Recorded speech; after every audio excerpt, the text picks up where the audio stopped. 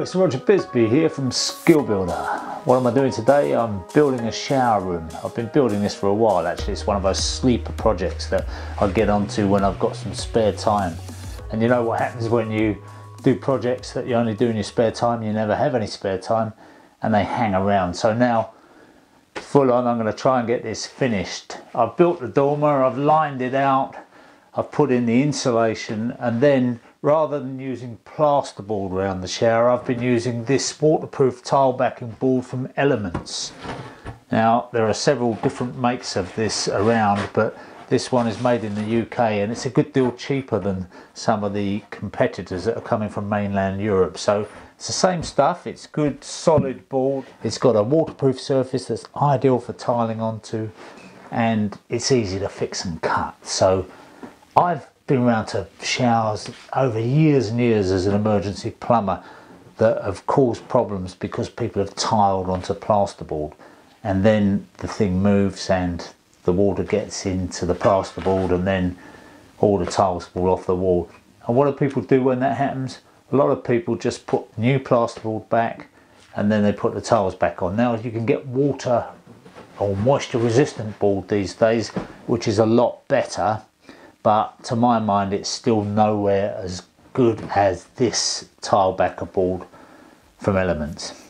So it's worth spending a little bit of extra money on. It's not, the price difference isn't that great anyway and you can be sure that you've got a belt and braces job.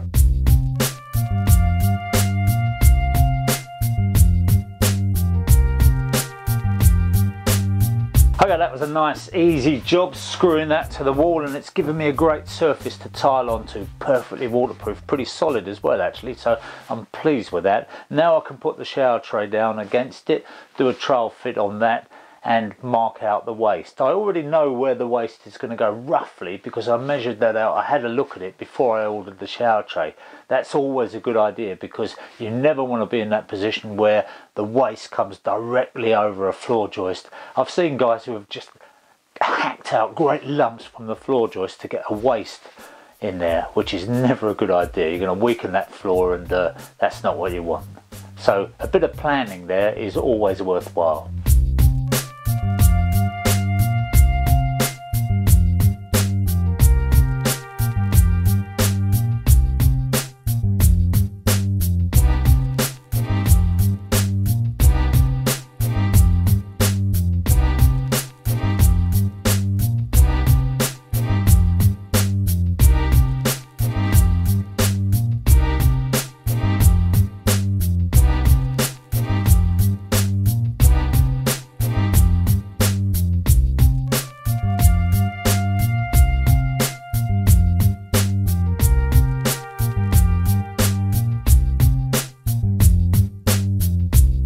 So now I've got the base down and I've checked it with the level. The next thing I need to do is check that the actual shower tray itself is fairly flat, which it is. Sometimes if you store those on their end, they can bend over the matter of months. So if you've done that, check that it's level before, excuse me, dust, before you go any further.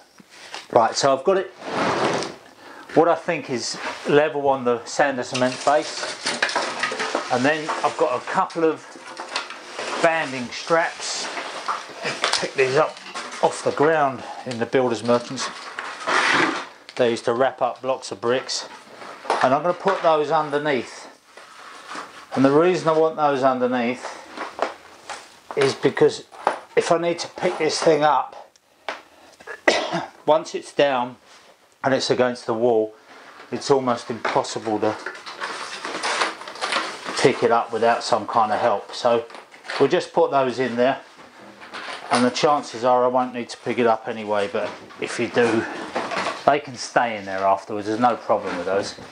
One more thing I need to do just around this trap here there's a rubber seal so we've got to make sure that's nice and clean. Now there is no need to put any sealant in with these the rubber seal does, does the job perfectly well but when you lower the shower tray into position it can dislodge that rubber seal. So what I do what I see a lot of plumbers doing is to just put a little bit of silicone around the edge of it just to hold it in position just tack it almost in position. Then when you lower the shower tray down it's not going to flick it out of the groove and so you can be absolutely sure that that seal is nice and tight it's in position when you put the tray down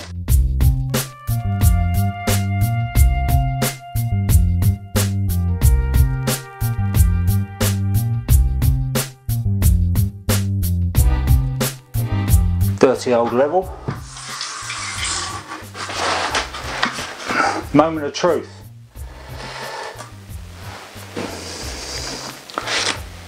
Slightly high on this outer edge.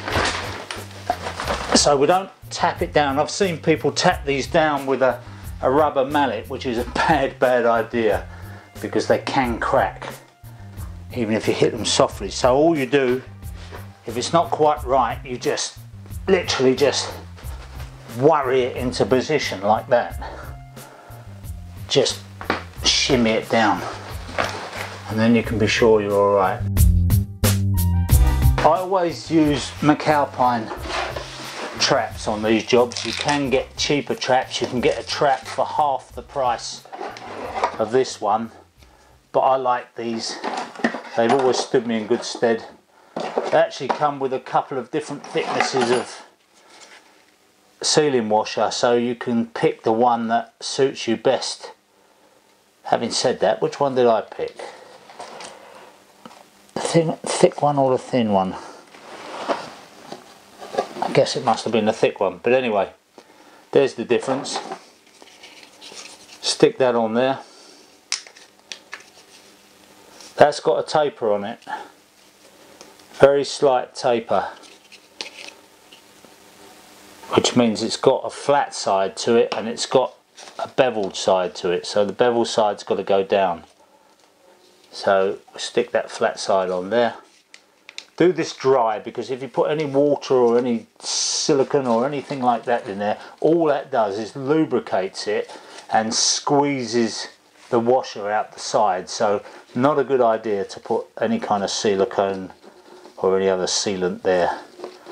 They do say if you do put silicone in to make sure you use a neutral curing silicone because the stuff with the acetic acid in is likely to cause problems.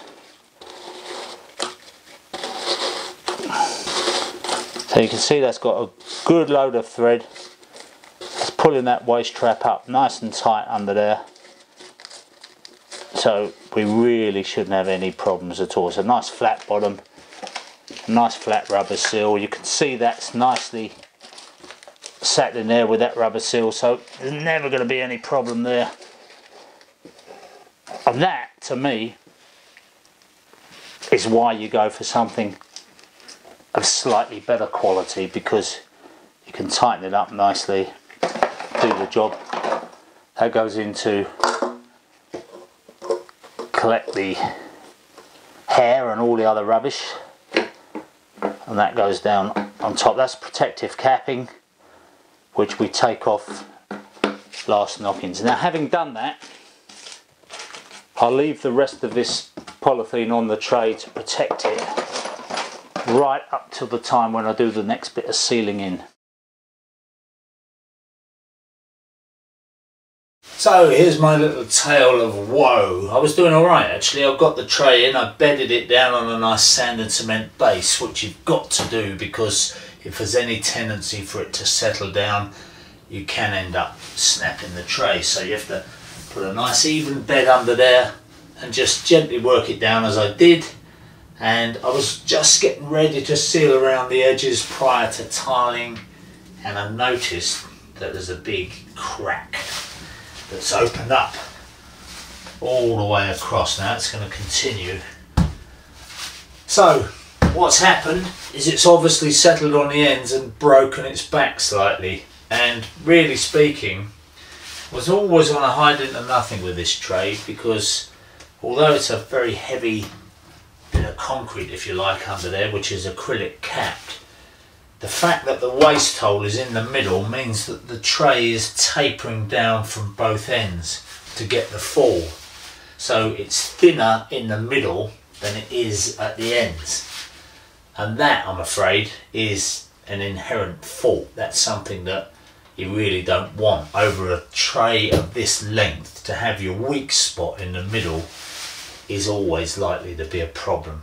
Now, I'm not saying that this happens with every one of these trays but I'm just saying that it's the last one I ever fit of this type. So what I'm going to do is I'm going to take this tray out now, bit of a hassle, and I'm going to put in a Mira Flight tray because I know those trays, I've used them before, they're very strong, they're good, and uh, I'd rather pay a bit more money.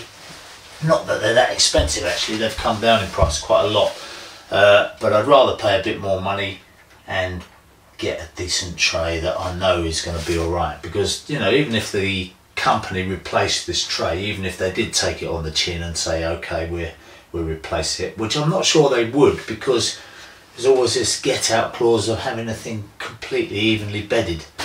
There's no tensile strength in it at all. So